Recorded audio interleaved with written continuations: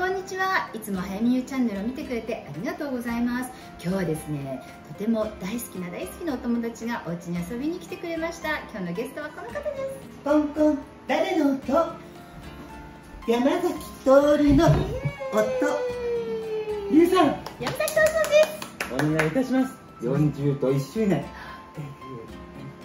そうです2003年度。2023年度。はい、ありがとうございます。ありがとうございます。それでね、とはい。りちゃん、これね、うん。この上にカメラが乗っかってるから、このテーブルを揺らすとね、すごい揺れるの。あ自信ではございませんので あの速報は流れませんので もう少し後ろにはいお席を、はい。はい。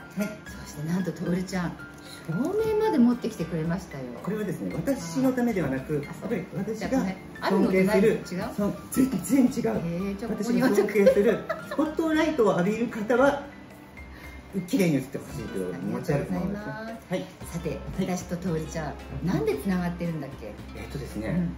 簡単なこと言いますと私が中学1年になる12歳、えー、ゆうさんがデビューなさる1982年15歳の時に、えー、ブラウン管を通じてレコードを書くのが出会いでございます、ありがとうございますよ。はいちょっと待って、カメラが曲がってるから、ちょっと私直すわよ。はい、ということで。ということは年齢的にはそんなに変わらない？三つお姉様三つお姉さんです。ゆうさんは50を超えた時に私53で今「徹君50過ぎたらね呼び捨てにしようよ」ってあゆうさんおっしゃってくれ言った言った。ていうかゆうさんっていうかゆうちゃんでいいんじゃない？って思うんだけど 嫌なのね。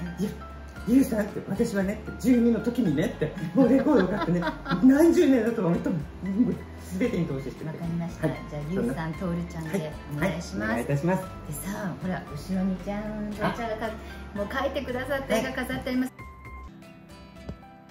もうねすっごい素敵な絵を描いてきて描いてくださったの。でもね送ってくれてね、で私はやっぱりちょっとほらエコエコアザラク好きだから、はい。ちょっとホラチックにお願いって言ったら、はい。素敵見てこの牙からの血。あ私この時はうん。ファンの人に殺されるという覚悟でこれを書いたんですよ。あちょっと遠慮気味。あ遠慮気味なの？そう。そしたらそこをうん。ゆうさんは見抜いてうん「トル君もっとさえぐいのってあるよね」って。っていうね連絡。して「本当に?」ってゆうさんに。そうなの、はい。少しどうせ書くならね、えぐく。ややっちゃうよということでこはい。ちら気になってるものを。今日？はい。ちょっと私たち二人とも照明これ照明。私はいいです。太田プロバラエティー班なのでどうぞゆう。さんこれがですねその今日もありがとうね持ってきてくれて重かったはいでしょ、デビュー41周年。はい。夏色のナンシーが発売されて衝撃！40周年ということで。すっごく本ない？当大丈夫？えこれ何食べてんの？これちょっとあの後ではい皆さんが付属すると思いますけど、うんアップアップでえー、人の腕でございます。ごくイカだと思ってた。違う。のこれねそれでうわー素敵。ゆうさん原画を持ってきたんですけど。すごはい。い。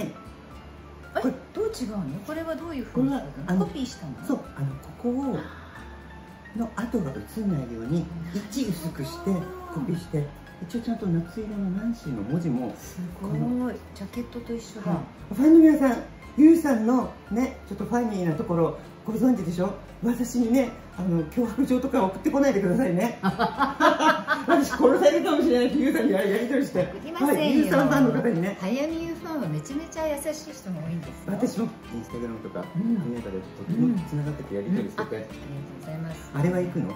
父さんあれは行くんですかって、ここ行くわよとかってやり取りもうねなんか私のお友達っていうことで皆さんねあの会場とかでお見かけするとすんごいフレンドリーに話しかけてくれるので、ロビーでちゃはんと待ってますから、い、いやすっごいな。どうやったらこんな素敵なあのね、思いつくの、これうん、ね、悩んだんですよ、意外と。はあはあはあ。あのゆうさんがうん。思い切りやっちゃっていいよって言ったので、髪の毛をヘビにしたりね。いろいろ。ちょっとメデューサチックでねあそれやってほしかっだけど、ん。やってみると、うん。ゆうさんはグアムとハワイ育ち、でハロウィンのコスプレをすごくうん。楽しんでる美女にしかならなかったゆうさん本体をいかに化け物にしようがそっかホラチックになんなかったでへ考えた末にあゆうさんのイメージと180と逆なもの、うん。それは聡明だったり慈しみの心だったりちょっと凛としてる部分があったりとかっていうものをちょっとすごく逆転させてなんていうのサイコパスサイコパあーちょっとサイコパスな感じ猟ね奇的にしてみて血みどろで人の腕を食ってたらどうだろうって笑顔で、すごーい。あ本当だ。どうだ。うん。うわー素敵。ありがとうございます、はい。グッとくるね。はい。練習いらずのようにちゃんとガラスを外しております。あねトルちゃん目綺麗ねどうしてゆうさん綺麗なのいやてかもうすごい瞳が大きい。びっくり。黒いコンタクト入れてるんですかって言われることがあるんですけうん。どでもゆうさんも言われるでしょ？私は入れと言われない。でもすごいね瞳綺麗。ちみちゃんもそうなんだよ。黒い瞳が大きいの、そう。えー、じゃあいただいていいですか、はい、プレゼントですあありがとうございます。もうこれは、はい。えファンの皆さんとゆうさんのアイデアにお任せいたしますが、なんかさ夏場とかこのうちわとかあったらよろしくない？うちは？これがプリントされたうちわでどうみんなどうコメントお願いします。えあダメダメこれねえこれアクリルスタンドにしたら？あそうそれもいいね。あのこれね怖いですけど私が書くとえハッピーナイトになっておりますので、確かにハッピーオーラが出てくる、はい、飾ると。ハッピーナイト。うちはねいいかもね。うん。でへまー単純でベタですが T シャツにうん。表に本来の本来のあ持ってきたの？すごい。本来のこすちらです。はいはいはい。こちらをプリントした T シャツね。これですよ、はい。これですはいね。そして。で裏面にこちらをプリントするとちょっと T シャツ制作するのにはお金かかりますが面白い。意外と意外とね。なんか前面にこれこれ胸にそう私ね横がいいと思う。ね風横横かでこうか。ちょっと重うんうん。ねてね、っていうのがファンの皆さんに喜んでくださるかな？ダメ。わかんないです。ちょっと皆さんのコメントをお待ちしてます、お願いいたします。あのお手柔らかにということで、はい。えっ、とじゃあまた来週は、はい。えーまたトールさんにトールちゃんに来てもらって、はい。来週もいろいろなお話をお伺いしたいと思います。来週はなんか私の暴露話、はい、あのゆうさんにまつわるエピソードと私たち早見優さんを愛する者、ファンの者にあるあるな話をさせていただきたいと思います。なんだ変なこと言わないでよ、はい。嘘嘘全然言って何でも言って。はい。ということで今日はありがとうございました、今日のゲストはじゃやあ山崎徹さんでした。よかったらいいねボタンとチャンネル登録を。よろしく、ね、ちょっと2人で番組始めない？4月から始まった。あの木曜9時という素晴らしい番組関根勤さん。あ歌は歌わないの？えっと出したことはあります。そうよね。